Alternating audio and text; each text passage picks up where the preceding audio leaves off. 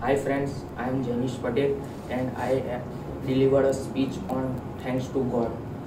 Before a few days we visit a polio foundation and uh, I show that uh, many children are suffering from very pain and many diseases. For them, doctor is a like a God. And uh, I, after I pray the God, after becoming me a doctor, I serve for them and solve them problems and also thanks to God for my healthy life. Thank you.